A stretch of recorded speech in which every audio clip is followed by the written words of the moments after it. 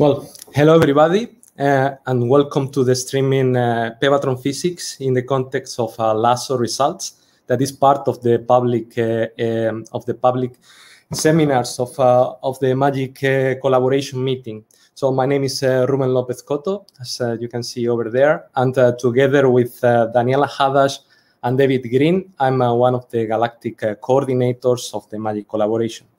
So uh, this uh, sorry. Uh, so this uh, uh, seminar was uh, well we have to thank many people not only not only us but also all the physics coordinators of the magic collaboration all the organizers the outreach communication team and so on. So first of all thanks everybody and uh, well, we will have uh, uh, today with us Felix Aharonian. Professor Felix Aharonian is a professor at Dias Dublin and uh, the Max Planck Institute for Nuclear Physics in Heidelberg, and he will be talking to us about uh, these uh.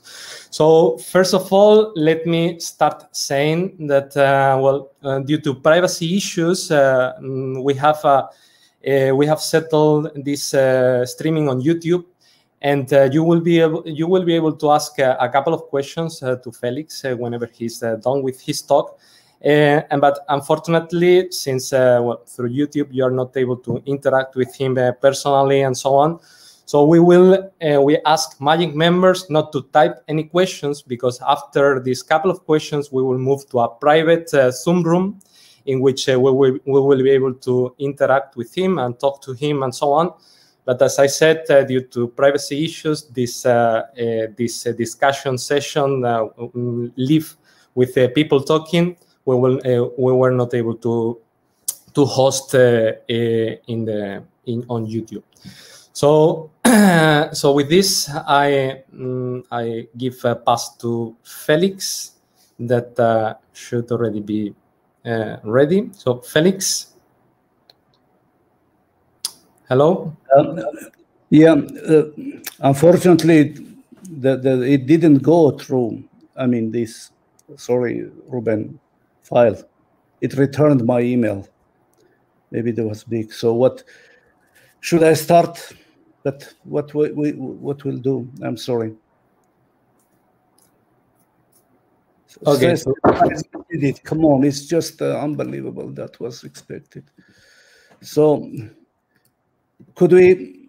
I yes. could talk, but we, what we should do? I mean, this is. Okay, so we received your email already. So sorry, there was some uh, there was some problem with the uh, with the slides, uh, but uh, we have already received them. in a second, they will be shared. Ah, you received it. Okay, thanks. Uh, maybe yes. that uh, okay. So maybe I'm sorry for this cause. So I should start maybe until you. Yes. Do not. So don't don't worry about this. So we will be sharing the uh, the slides in a minute, and uh, yeah. So please, maybe you can already start uh, introducing the the topic. Yes. Uh, while the the slides are shared. Okay. Uh, first, thanks for inviting me to this um, to, to, to give a talk on quite exciting topic uh, on the recent results. I'm Felix Aharonian. Ruben already introduced me. I am um, representing um, the LHAASO collaboration. I'm not nominal member of LHAASO collaboration. I'm the scientific um, advisor, but I'm involved in all activities now and then I, I, I participate in writing papers, etc. So I can tell you, hopefully, uh, a lot of details about the this exciting results. So I like very much the title suggested for my talk, Physics of Pevatrons in the context of LHAASO results. So I'll start with the first slide. Um, um, so I understand you. Uh, so could go to the first slide, please.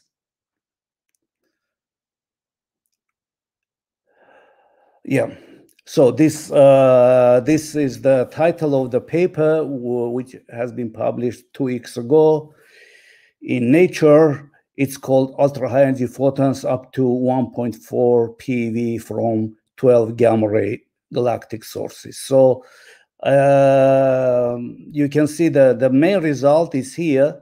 You can see the, the sky, which can be covered by LHAASO, and you see the galactic plane with indication of uh, TeV sources, and you can see uh, 11 of them uh, are, uh, are, are this the new uh, sources detected at ultra high energies. Crab is outside of this region. So what is spectacular with this table? You can see gamma rays detected above 100 TeV with significance more than 7 sigma. So in the case of crab, it uh, it is around 20 sigma. So it's very significant. And another thing is, I would call your attention the the one of the from one of the sources, which is is um, no, you cannot see here the name, but it's called um, Cygnus cocoon. The highest energy photon detected uh, was at energy 1.4 PeV. Uh, so that was uh, I, I, just want to say for for years we are dreaming to get 10 TeV 20 TeV 30 TeV or recently 100 TeV gamma rays but suddenly now this instrument is able to detect up to 1 PeV and beyond and fluxes you can see in the light last column it's about in crab units uh, crab, by the way, is not the strongest one. There are others comparable or stronger, but crab is located very conveniently for LHAASO, so exposure time is more than for other sources. That is the reason that crab has such a high significance. Uh, next slide, please. Uh, so uh, gamma rays, just very short introduction, is usually we call this segment of electromagnetic spectrum, cosmic electromagnetic spectrum, as a last window. In fact, this last win window covers uh, 10 decades from 0.1 MeV to now could go to up to 100 PeV. So now it's 15 decades, uh, 10 decades are covered. And uh, let me to say that um, over the last uh, two decades, we have seen two revolutions in gamma ray astronomy. Uh, and I guess it's not ex exaggeration to call them revolutions. So one was the first decade of this century in gamma ray astronomy, and after the exploitation of the full potential of stereoscopic imaging atmospheric Cherenkov technique. And the second was in GeV and low energy gamma rays thanks to the Fermi-LAT and partly by Agile satellites. And um, I may say that we are at the threshold of the further revolution in PeV astronomy, and I hope is, this is also not an exaggeration. Next slide, please. Um, so uh, just a few uh, words about TeV gamma ray astronomy just to explain uh, why we call it revolution. And uh, at least everyone agrees that the very high energy gamma ray astronomy is a success story. And then uh, it's good to understand reasons. And there are several, of course, as usual, but there are, I would indicate two most important ones. The first, of course, is a great potential of detection technique. It allows very large collection area it allows um, good hadron separation. By the way, when it this telescopic system um, allowed to get very good uh, hadron separation, gamma hadron separation, and also very good angular resolution, record angular resolution in gamma ray astronomy. It covers three more decades in energy from tens of TeV to tens of TeV and could go extended beyond. It has a good resolution. So you have morphology, timing, spectrometry. You can provide all this kind of uh, um, uh, measurements. Uh, the only one uh, shortage you see is the limited, relatively small field of view, a few degree, and uh, it gives also limited exposure time, typically 100 hours per year so this is a generally is very nice performance and then uh, so that is the first reason for this success story the second one was to large extent unexpected. It appeared that the universe is full full of TeV gamma ray sources, or we could call full of tevatrons. So that was uh, quite unexpected and was a nice gift to us. Now we have 250 sources, uh, which is a very good number. It's not just as much as in optical X-ray astronomy, but what is more important in my view here that these 250 sources represent more than 10 source population. Is very very nice physics and astrophysics. Uh, next slide please. Now uh, now now why we are optimistic that we could uh, expect another success story and uh, the reasons are the following this is comes from LHAASO LHAASO, I would call the um, uh, detector from future which operates these days. It, it is really surprisingly quickly uh, has been realized this very ambitious project. And uh, so it uh, the, the, the, main parts again i'll start the, the, the, the, from the detection potential is the detection area which is a one square kilometer actually is less impressive that you get in cherenkov telescopes because the fluxes are much higher TeV energies, but still one square kilometer is a good start. Uh, the very key issue is here gamma hadron separation, which achieves uh, 10 minus 4 is better. So it means you reject uh, hadronic showers uh, at the level of 10 to 4. Exposure time, the very large field of view, which is about steradian, and the exposure time is if you are in the field of view, like CRAB or other sources, is something between 1,000 to 2,000 hour per year. Just compare with uh, less than one hour, in fact, tens of hours of Cherenkov technique. So it is also compensate the, the observation time, exposure time. So now you have the nice, yeah, yes, a very re reasonable um, uh, angular resolution, not as good as the Cherenkov technique can allow, um, and a very good energy resolution, about 15%. So if you have a good photon statistics, then you can do uh, also uh, the, the, the lot of nice things uh, like spectrometry, morphology, etc. So, but this is not sufficient. We still should have a more than uh, we should have a uh, gamma ray sources with energy more than 100 TeV. And um, again, I, I, I don't think anyone could predict that it could be so many sources above 100 TeV uh, on the sky. Uh, in fact, it's a big surprise. By the way, you should do credit, uh, give to uh, uh, HAWC and Tibet, where these two collaboration started to publish interesting um, results about existence of uh, sources with energy more than 100 TeV. Now, LHAASO arrived with much more potential, and then immediately after half year of operation, after one year, but uh, half uh, half of instrument was operating, so got so many interesting results. So uh, already now we could claim that the universe is full of uh, also of pevatrons uh, next slide, please. So PeV gamma rays, we call gamma rays above 1.1 uh, PV or 100, above 100 TeV. So what uh, here you can see sensitivity compared the LHAASO compared with other instruments. You could see very impressive sensitivity LHAASO above tens of TeV.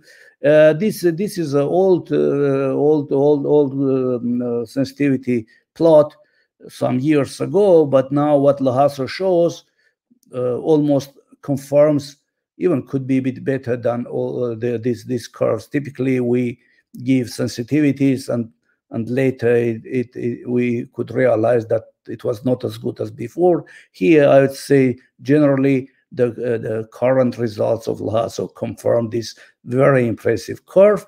And the, on the right side, you could see very interesting um, uh, interesting um, uh, plot that is something new in gamma ray astronomy. So I mentioned that LHAASO can reject the showers at the level 10 to 4. Actually, 10 to 4 is the at 100 TeV, at 1 PeV is 10, 10 to 5. So you keep only one from uh, 100,000 showers at 1 PeV.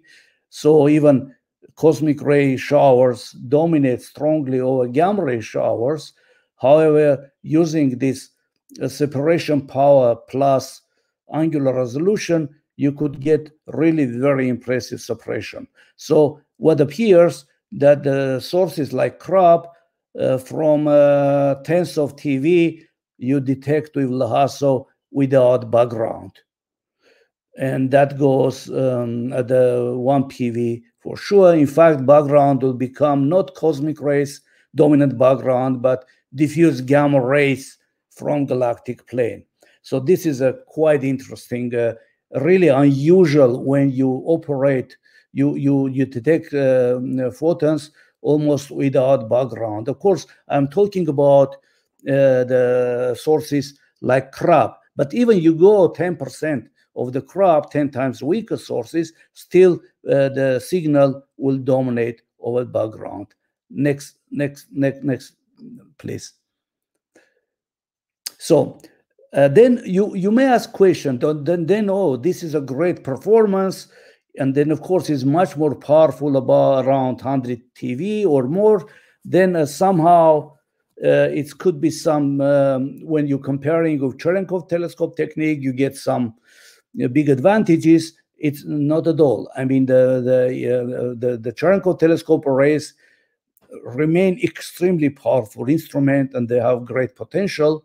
And uh, as I mentioned, they they uh, collection area could go much more than one uh, square kilometer, like which would be the case of uh, CTA will have the good photon statistic. You could do a lot of important things with with with with, with um, uh, CTA, let's say the major instrument for future, and then it will be very good match of sensitivities of CTA and LHAASO. At this moment, LHAASO sensitivity at 100 uh, TeV um, is exceeds the sensitivity at Cherenkov telescopes at TeV energies um, but we should not compare directly these SEDs, so-called uh, energy fluxes, because typically uh, we, we, we, as we'll see, um, the, the energy, uh, the spe spectra are quite steep, and you of course should have a better sensitivity at 100 TeV energies in order to uh, match the sensitivities of Cherenkov telescopes. Next slide, please. So then uh, let me show that the three sources detected, three strong sources after uh, with the together with the crab. Uh, the, the, you can see very impressive uh, error bars at low energies, and uh, and um, you see the extension of the sources. The uh, the PSF allows to claim that sources are extended up to half one degree. I'm talking about these sources. Uh, I mentioned the background free detection. You can see in this table, like the, the first uh, line is the crab nebula. You could see have been detected uh, 67 gamma rays against five and five uh, background events. So fact, uh, the signal exceeds the background factor of 10. And this is the same for other sources. Um, so uh, the results, um, uh, exposure time you see now, 2000, it is approximately one year, but the the the the, the detection uh, the the detectors were not completed fully, so it's about 50% of uh, potential of LHAASO. So it means for starting July, when LHAASO will have 100%, uh, will be fully completed, then uh, you would expect um, twice more statistics for one year. Another issue I want to show here, this gamma-gamma absorption. You know, gamma rays are quite fragile and they interact with the photons. At 1 PeV, main uh, main main uh, target for absorption are 2.7 K background radiation photons. At low energies in the galactic plane is are more important. The diffuse uh, uh, the background at inf infrared and optical wavelengths. So fortunately, as you can see, for these sources, uh, the, the um, absorption is not a very uh, big issue. So you could easily correct for absorption. It's less than 50% are absorbed. Of course, if you have the sources at large distances, like Cygnus X3, for example, around 8 kiloparsec, then absorption will be more significant. But still, it's uh, what concerns galactic sources, we should not face big problem for correcting uh, fluxes for uh, gamma gamma absorption. Next slide, please. Uh, so this is I show that one of the sources, one, one of the examples um, that, that just mentioned that um, uh, typically we we are hoping that if you go beyond 100 TeV, you should not have a problem with um, the, the, the choice leptonic or so-called leptonic or hadronic. It appears not. Still, you could uh, you will face a similar problem. You could uh, explain the results uh, both by hadronic and uh, proton-proton interactions or leptonic inverse Compton scattering by electrons is uh, the numbers you could see uh, the, the, the curves and the the assumptions they are quite reasonable uh, in the sense that you could explain the, um, uh, the, the, the, the, the, these, uh, the, these results by inverse Compton and proton-proton interaction by a nearby supernova remnant in case of the hadronic uh, interpretation or uh, so-called pulsar halo emission around the quite strong pulsar 1907. So uh, please note that here spectrum is steep, and all spectra, by the way, uh, uh, are quite steep, uh, detected by LHAASO. By the way, that shows the the great potential of LHAASO. You measure spectra, steep spectra, with a good accuracy. That that you have to have a very good sensitivity to do that. So another thing I'll call your attention is the following: if spectra typically we think that, and that is true, that energy which goes in proton-proton interactions to gamma rays is about 10% of the parent protons. However, if you have steep spectra, then it's it's it's uh, the, the, the difference between energy of the proton and gamma ray uh, becoming less. So in fact, it's about factor of three or four. So uh, the the the protons uh, to to produce 300 TeV photons, you need for the steep spectra approximately one PeV proton. So in other sense, we should not simply multiply if, if you see 300 TeV um, uh, the TeV gamma rays, you should not assume that spectrum goes well beyond one PeV. As I said, because the steep spectrum is the same for inverse Compton scattering. Why I'm saying that? Because typically when we get with Cherenkov telescope, something like detecting 20, 30 TeV um, gamma rays or maybe 50 TeV, we immediately assume this should be Pevatron because you multiply spectrum by 10, 20. Um, in the case of st steep spectra, it's not, strongly speaking, is not correct. So really, if you want to understand and the, the, the, the to, to pevatrons, you have to go to very uh, high energies, very, I mean, ultra high energies, well above 100 TeV. At the same time, that doesn't reduce the significance of low energies because in order to get a good uh, the, the SED modeling, you need good measurements at uh, TeV energies. In fact, you have to go to low energies, to GeV energies, and uh, for two reasons. One, the energy coverage, and second, you have with Cherenkov telescope much better morphology, and that is a critical uh, for identification of the sources. So, in other words, what I want to say, we need very much Cherenkov telescopes to interpret properly the results of LHAASO. That is uh, concerns the morphology, as I said, the much better imaging with Cherenkov telescope, but also it's very important to go to low energies. So low energies mean up to GeV, 10, 20, maybe 200 GeV. And that is also is very important because we'll have now, when we, we at least with CTA, the energy will extend it to low energies and then uh, it could be much better uh, information uh, than we can get these days from Fermi. So at least for tens of GeVs. So, so to conclude, the uh, to to identify all the LHAASO sources, to study the physics, uh, the Cherenkov um, uh, instruments are absolutely necessary to have them.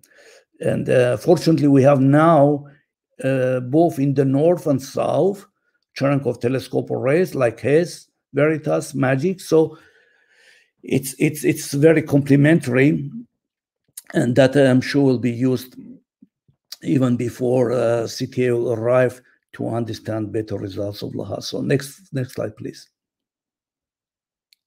Next slide. So this is uh, just to say that we there's all these 12 sources. Uh, we uh, you could see many counterparts, and that is not so easy just to distinguish which one uh, which one um, really corresponds to the LHAASO source. So it, it is a lot of work. But just to say a few words, I mean, the, what is the firmly identified is Crab, Crab Nebula. Uh, you cannot see here the young supernova remnants. There are mm, several candidates for middle-aged supernova remnants. There are several candidates for possibly or pulsar halos, and there are some clusters, young stellar clusters, in particular the Cygnus cocoon, which surround the Cygnus OB um, cluster, and that is photons I, I mentioned goes up to 1.4 PeV from this source. Next slide.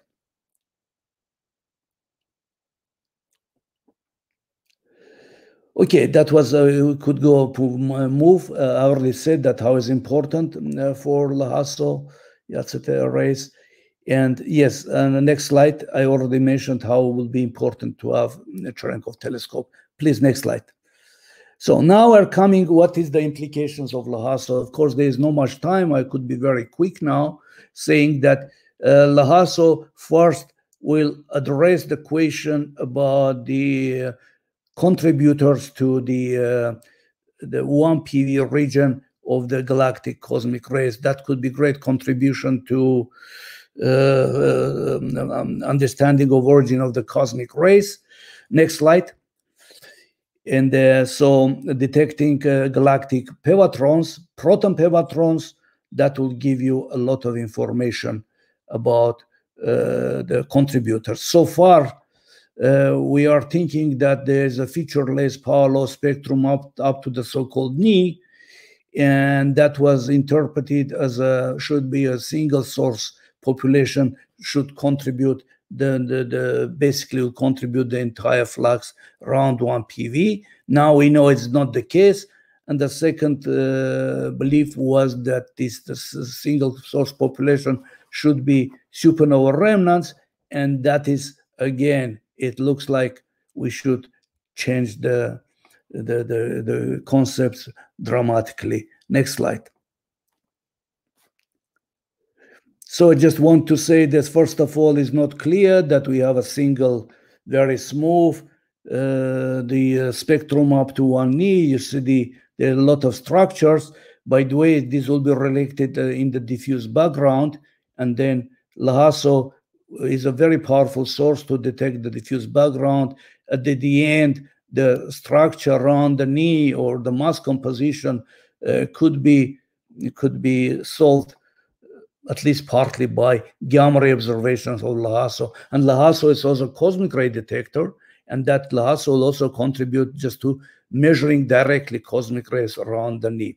So uh, what, what, what, here, what what what we you see the structure, you could think there's a drop of the spectrum below one TeV. So you could have doubts that there should not be pevatrons maybe, and that will make life much easier than in the sense of um, I'll come to that point, not not finding uh, the uh, gamma ray sources uh, at uh, energies above 100 TeV uh, from supernova remnants. That is a problem, but uh, in, in fact should not be problem with um, protons to to get protons uh, up to one one PeV and even beyond. So most likely we expect not simply nominal pevatrons, which means up to one protons up to one PeV, but it means that we most likely should have a super pevatrons in our galaxy, and that is very important to detect also gamma rays above one PeV. So that was I want to indicate how is important uh, just detection also above one PeV. Now statistic is not very large, um, uh, but in coming years, uh, most likely we'll see a lot of interesting, exciting results. I guess also surprises what uh, relevant to the super pevatrons in galactic plane. Next, next slide, please.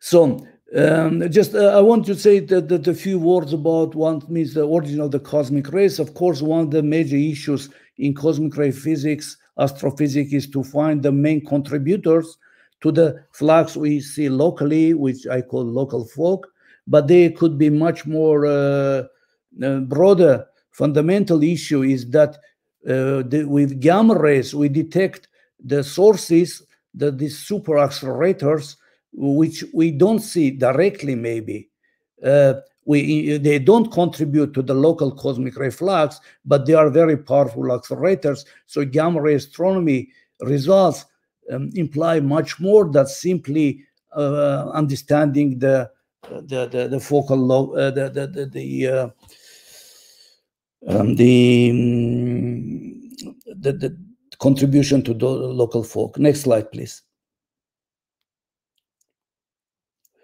So there just we could pass this is a nice picture. What is surprise at TeV energies, at GeV energies, we will have seen that there are many, um, almost all suspected non-thermal source populations uh, producing accelerating particles to GeV energies, to TeV energies, and now we are con conclude that they are going now to PeV energies. So as I said, this is a absolutely unexpected results, what first of all implies that there are factories of the cosmic rays which um, accelerate particles with incredibly efficiency to get PeV energies.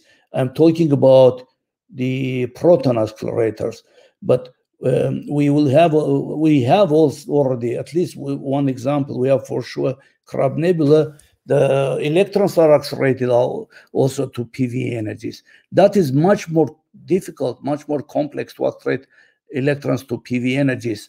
So this, these sources we call absolute extreme accelerators in the sense that everything proceeds there at the level of maximum possible acceleration rate uh, allowed by theory. Next slide, please. So I just want to say that there is not only the the aspect of the um, cosmic ray physics, but also the very important aspects of accelerators and uh, the uh, they are in that case the so-called extreme accelerators. Have a central position in, in, in the future studies of LHAASO because LHAASO will really get the point when you could say efficiency is just close to 100%. Almost now is the case for the Crab Nebula, but with adding statistics, it will be maybe more sources. Next slide, please. Uh, so I don't have much time to go. Just uh, just go ahead because this extragalactic sources not much much interest. So this is what I want to say. The crab.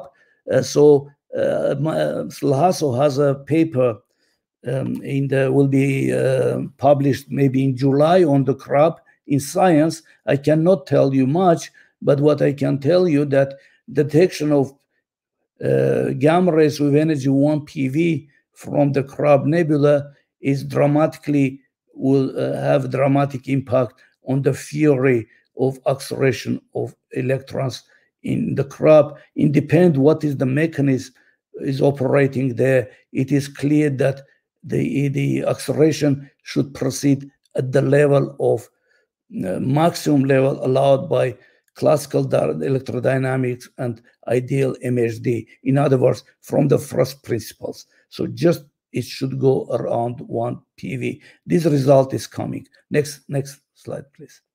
So coming about cosmic ray, I should uh, go too fast. Uh, I, I, I, I uh, just what what what LHAASO shows that we have now electron pevatron in the Crab Nebula. We have proton pevatrons most likely, and then um, that that could be because of the supernova remnant and stellar winds um, in the young stellar clusters. I already mentioned that most likely this will be clusters uh, of young stars rather than supernova remnants.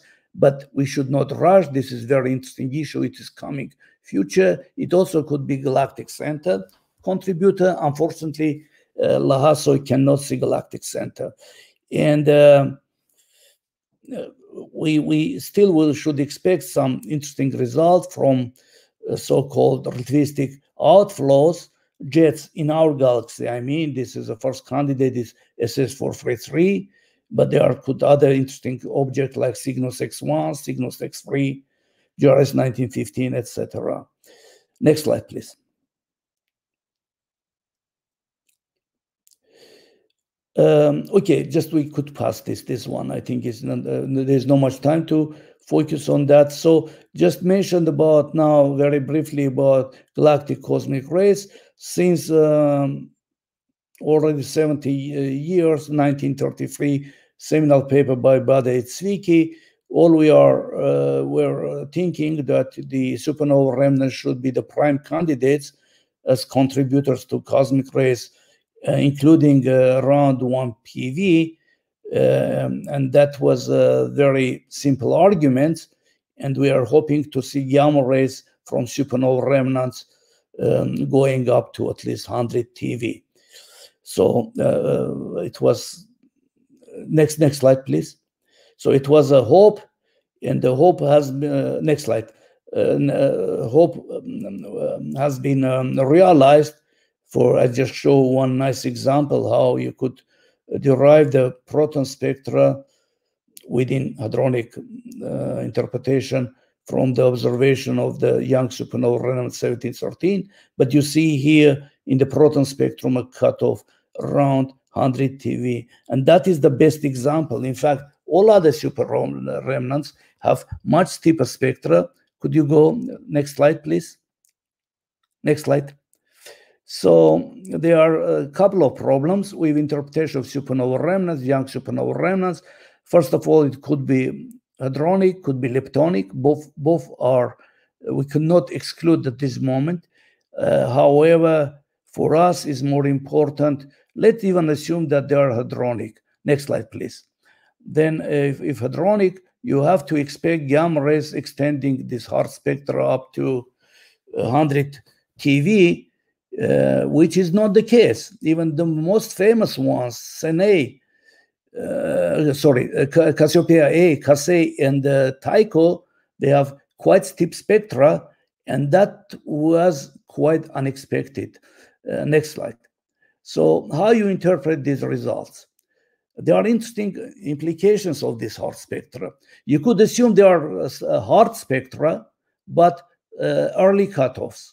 So then you could get for the uh, limited uh, energy range this steep spectra.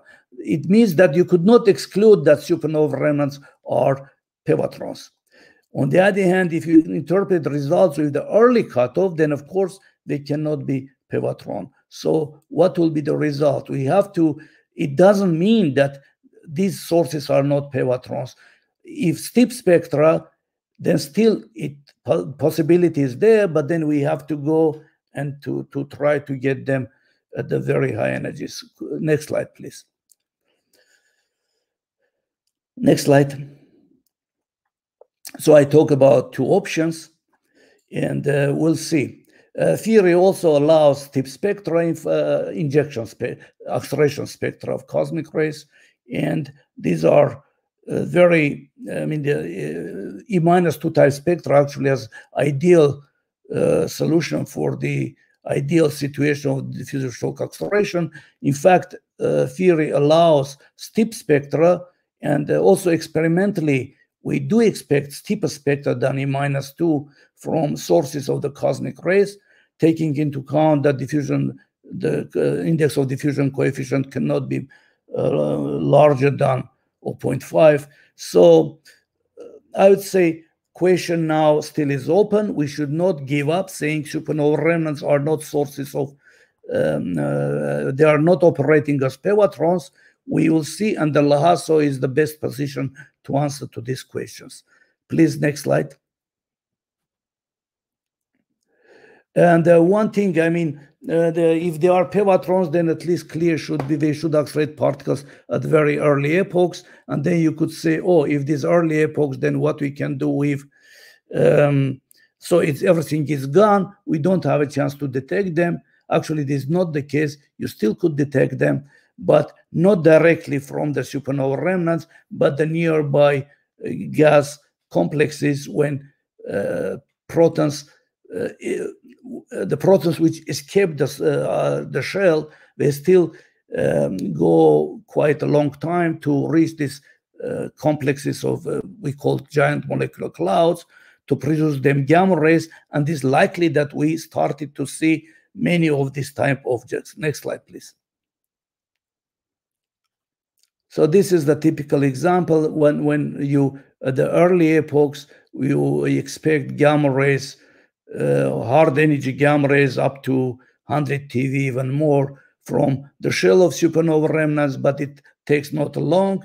Later, it goes, um, uh, the, the, the chance to see these protons is only at later epochs when they interact, they, when they escape the source and interact with the nearby clouds. Uh, but we should be also here very, very careful because the anisotropy, the escape could be anisotropic, and then you actually could see not simply the cloud of the gas as a target, but also you could see the enhanced gamma rays because there'll be cloud of cosmic rays. So they escape collectively. Uh, don't individual particle escape the supernova remnant shell, but collectively, like the clouds together, and could be very interesting pictures. So picture could be much more complicated. Next, next slide. So now, what, what, what, what the, the, the, last thing what I want to call your attention is that we have to be very careful if we are going to very high energies.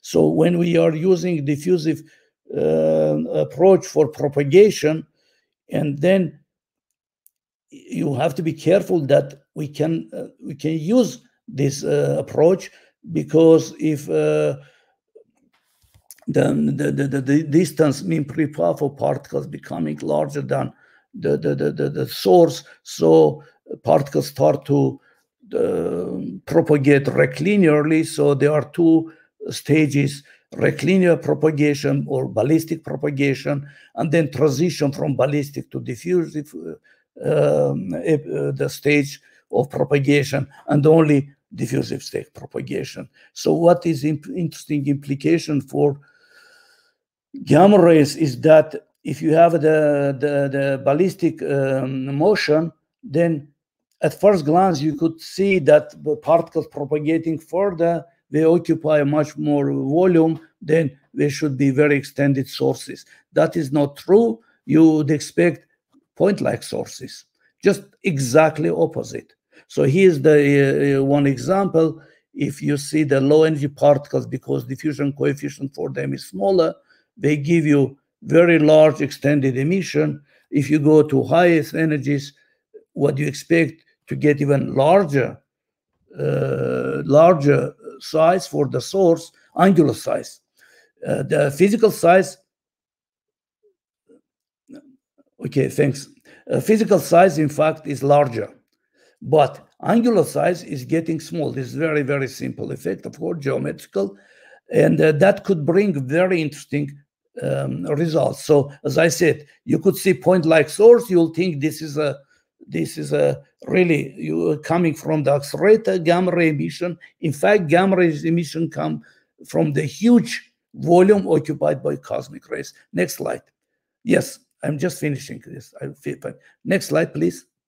So just to show that could be very funny things. In fact, I mean, uh, if if you don't have the between observer and the source some uh, large material of gas, and there's the clouds are located um, uh, not in on, on on the on line of sight, so uh, you could see gamma rays at highest energies, not from the nearby clouds, but very uh, far clouds. Reason is that because the nearby clouds, cosmic rays are passing um, ballistically. They produce, of course, gamma rays, but these gamma rays are not coming us. Only at the very end, when they isotropized, they can produce gamma rays from the distant clouds. And if you see this picture, you'll think you are detecting different sources because it's unrealistic, unreasonable, but in fact, this simply is uh, the reason of the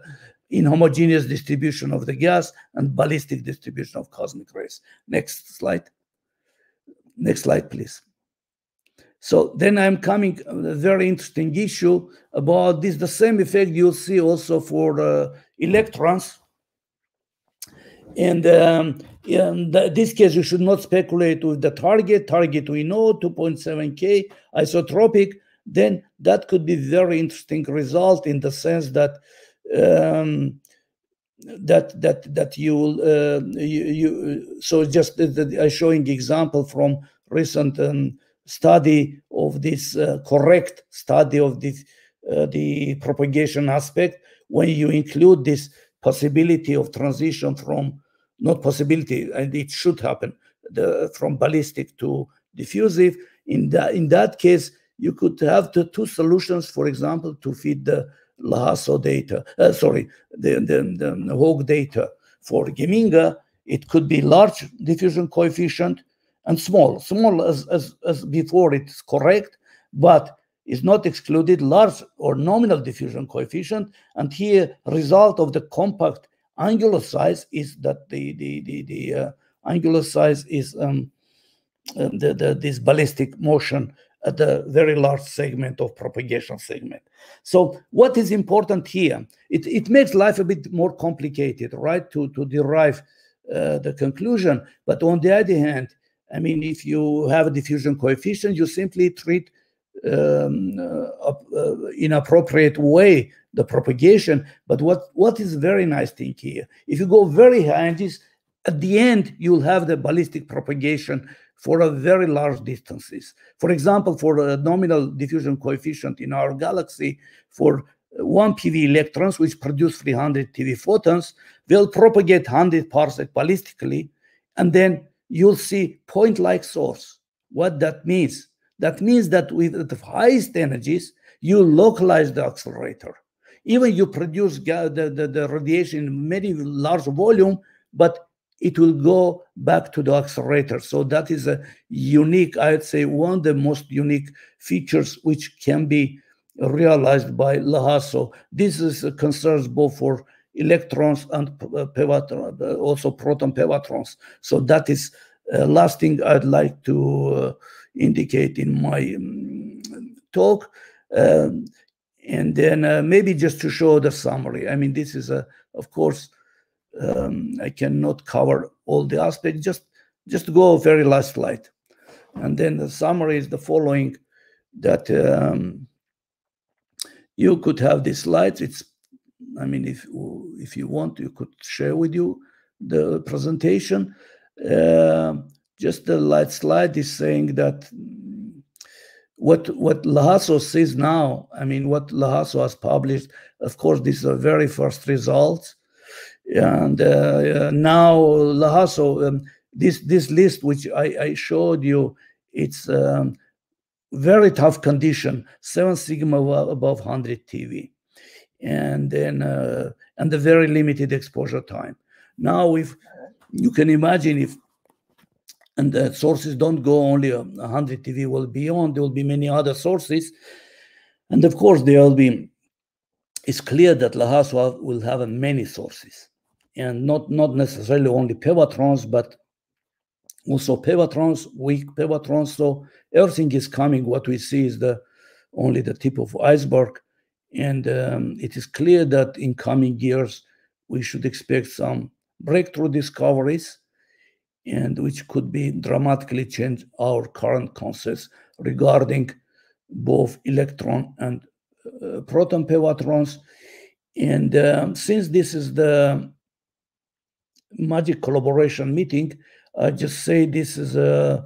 Uh, I, I tried to spend actually a lot of time to to convince, not convince. I think you are convinced yourself. It's it's clear that the the LHAASO is a very complementary, and even to understanding the pevatrons, you need also low energy measurements.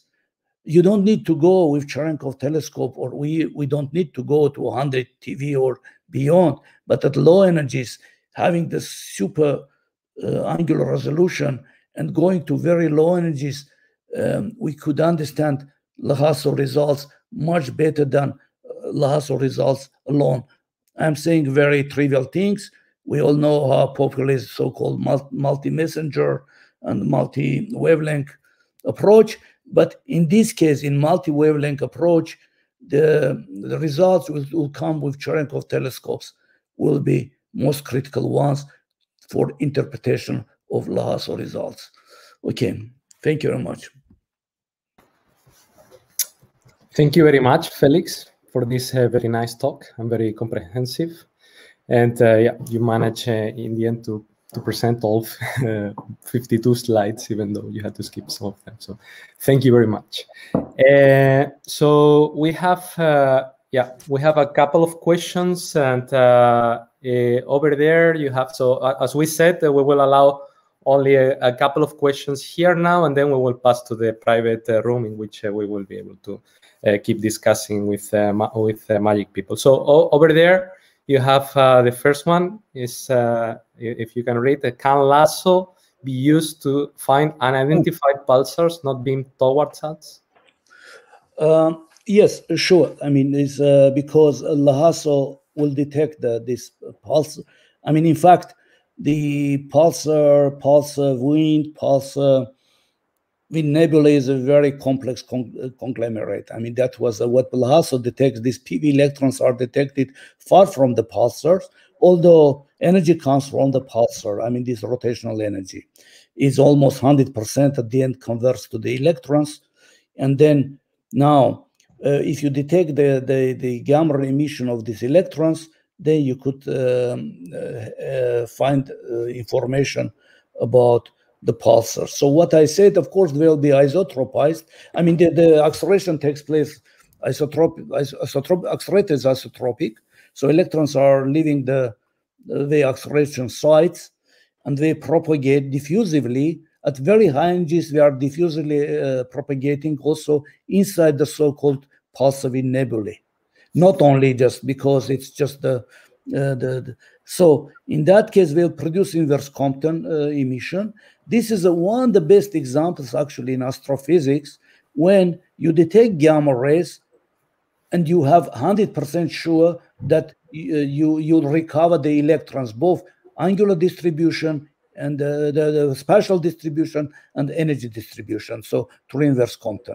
So LHAASO uh, audit has been done by HAWC. It was a great achievement. HAWC and HESS has got a lot of possible nebulae. Um, HAWC added more, and then uh, there is an idea that could be not only with nebulae, also the surrounding with nebulae, so-called pulsar halos. Uh, LHAASO will have a much more sensitivity than HAWC. We'll see uh, many of them, but most exciting one is will be that LHAASO will go to as I try to explain, I am not sure how successfully, if you go to hundreds of TeV, then these electrons will propagate ballistically. And that would allow you just to fix the position of the pulsar. Because the main problem with uh, this identification of the pulsar, which energize, which uh, which gives you this halos. So could be surrounding several halos. You could think this not only the inverse Compton, could be some um, other sources, but with good accuracy, if you fix the position of the accelerator, that is the pulsar, not pulsar itself, but the so-called position of the termination shock, which is a bit 0.1 parsec, let's say, from the pulsar. You'll fix that position, and then you'll for sure know that. And, and if you fix such position without having pulsars, that that will be what you said. That will be the case when the Uh, there's a pulse up with powerful rotational energy, spin down, but we don't see because of the beaming problem, but we see the results in a such a sophisticated way. Energy of pulsar goes to the wind, wind terminates, accelerated electrons, electrons propagate to distances tens of parsec, maybe 100 parsec, and you get point-like source which goes to that position. You should say, at this position should be pulsar. So the the answer would be that yes, if a, if a pulsar is uh, uh, whose beam is not pointing towards us, we could detect it uh, uh yeah. using LHAASO, right? Uh, the same way that the same way that uh, Geminga and uh, Pulsar B0656 were detected by HAWC and now also by LHAASO right? Yes, exactly. So HAWC already did that. But what the, I'm those, saying, yes. just to fix position of the pulsar, that could be very interesting thing because you don't know there's a pulsar or not. But you get point like source, you can say, okay, he's a pulsar. Okay, so thank you. You already got uh, congratulations uh, from uh, Richard Mitchell, and uh, we have now uh, now time only for one additional question, and uh, it is that of uh, Siska Bo. Uh, could LHAASO detect extragalactic sources, or would the absorption be a problem? Um, um, it's a good question. Yes, I mean um, uh, the the MI free path for uh, one PeV gamma rays is about uh, eight kiloparsec, so not beyond our galaxy. But 100 keV also few megaparsec. Maybe you could see that from Cene 100 TeV. If you go even further, next source interesting is MAT. Uh, yes, there are some uh, the star, uh, starburst galaxies like M82 or and this M82 actually is in the north for the LHAASO. It could go up to uh, up to tens of TeV, even more, unless they will be absorbed inside the galaxies. And then another thing is uh, the M87. Then you should see up to 30 TeV now, if we if we trust this uh, EBL, uh, the, the background measurements or theory, and then if you go to uh, very large distance ones like Markarian 501, 421, still there's a chance to see 20 TeV. And LHAASO is quite sensitive also to 20 TeV. That was I, uh, I want to say. Is a nearby cosmos, of course is nearby Cosmos. But let me just mention that LHAASO is only this detector is called KM2A, kilometer square array. LHAASO was the second detector. I was not mentioning that today because there's not published. I mean, the, this is like the HAWC, but four times larger HAWC. Mm -hmm. On the other hand, it is a, has a very low threshold. It should go to 100 GeV. And in that case, that could be perfect instrument for gamma ray burst and gamma ray burst um, afterglows especially for gamma ray burst at very early stage, sensitivity is quite good. So what has the magic and has detected afterglows and magic early afterglows give all, I mean, the optimism that LHAASO will get this stuff. So even large Z up to one. So right now, local extragalactic universe, and uh, whenever it is complete, it will go far, right? Uh, yes, still, I think the Cherenkov telescope could do the bet, bet, better job. Yeah. I mean, for the vari variability or like like CTA, but uh, but generally, yes, up to, if it could go up to 100 GeV with sensitivity close to today's instrument like like HESS or Magic or Veritas. Yes, that that will do. Okay, very good. Thank you very much for your presentation and for answering the, the questions, Felix. And uh, now we are we are going to the private room. So all magicians, please uh, join the, the room that uh, you have uh, received uh, by email. the Zoom room. And please, Felix, also join us over there in the in the same email in which you send the slides. you have the the link to the Zoom room with the password. Yeah. And uh, yeah, so let us uh, thank uh, Felix again. Uh, let us uh, let us thank uh, everybody who participated in the organization of of this event, and Daniela and David, who are also the Galactic conveners behind helping out with the organization of the of the questions and so on, and well, everybody for coming. So thanks everybody, and see you. Thank you. Thank you very much.